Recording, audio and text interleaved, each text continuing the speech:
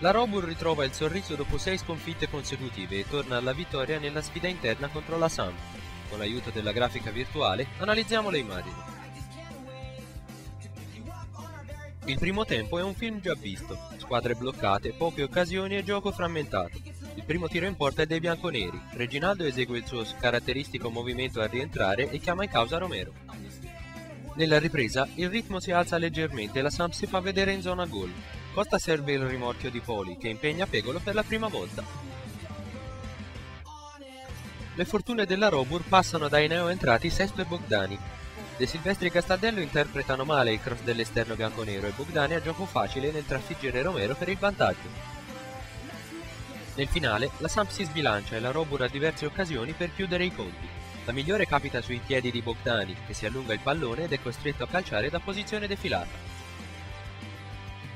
In un finale pieno di nervosismo, i bianconeri riescono comunque a portare a casa la vittoria, tre punti necessari a tenere in vita le speranze e salvezza, in attesa di conoscere gli esiti del calciomercato. Per adesso è tutto e a me non resta che darvi appuntamento alla prossima lavagna. Ciao a tutti!